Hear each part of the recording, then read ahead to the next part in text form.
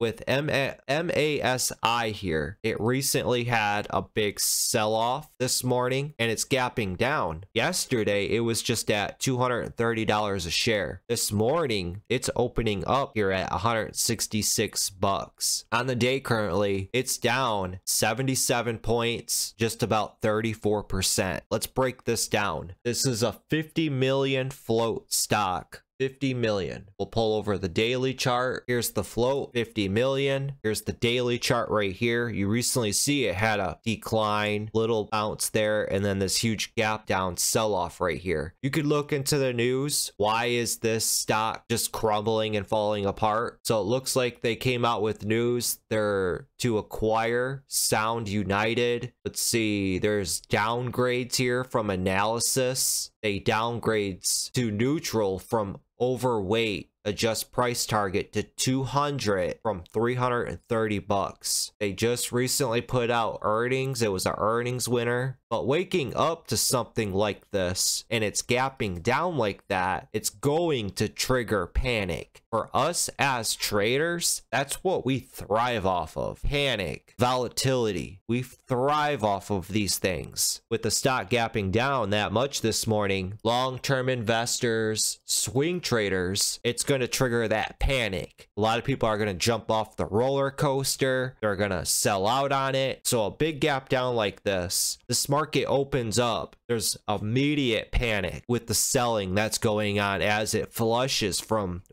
172 all the way down to 156 and then gets halted. This is where it pays also to know your candlesticks and study your candlesticks.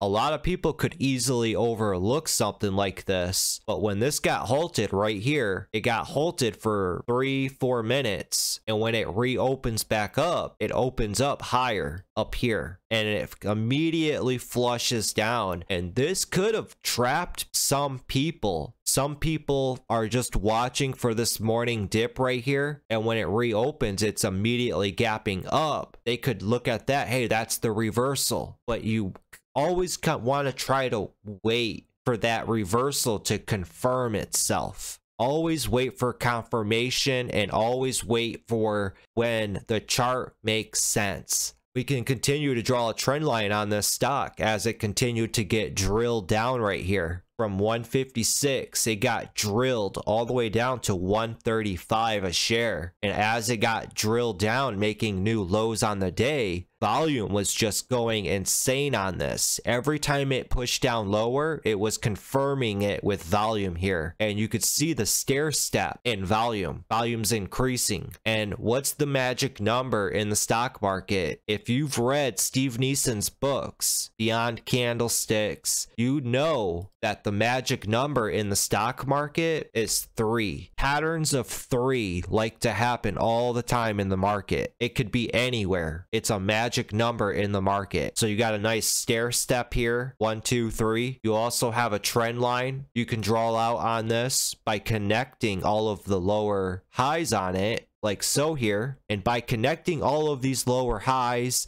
you're seeing volume is stair stepping up like this. As soon as we see that first green candle and we rip up over that trend line, then we wait for the stock to pull back. What you want to be looking out for is for the stock to hold at that trend line as support and then continue to push off of it. What by doing this, you guys, let me delete these lines here. By doing this, I'm going to draw my trend line right here, make it really tight. So by doing this, you guys, what you're doing when that stock rips up over that trend line and then you wait patiently for that pullback right here. Now you can start putting together a plan to potentially trade this stock. You know the low of day is right there. With the stock ripping up like that and trying to potentially reverse and pulling back here, you could be entering in right there and you could be putting your stop just below low of day. That way, if it doesn't work out, you can bail out on it or get stopped out. Stock continues to rip up from 136 all the way up to 150 topping out at 156 so that's about a $20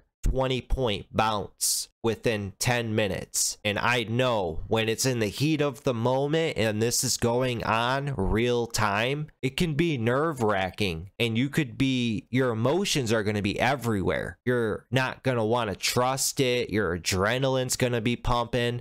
That's why I'm saying this is more of a risky trade, a high stakes trade, but it pays big reward. And how do you get your target?